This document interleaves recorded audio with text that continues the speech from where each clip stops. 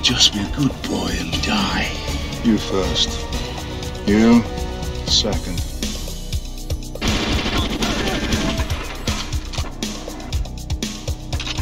Get us out of here!